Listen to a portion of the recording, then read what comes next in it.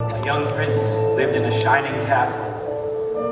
Although he had everything his heart desired, the prince was spoiled, selfish, and unkind. But then, one winter's night, an old beggar woman came to the castle and offered him a single rose in return for shelter from the bitter cold.